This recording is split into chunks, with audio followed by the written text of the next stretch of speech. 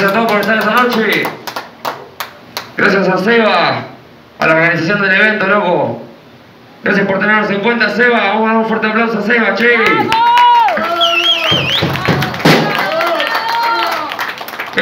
che.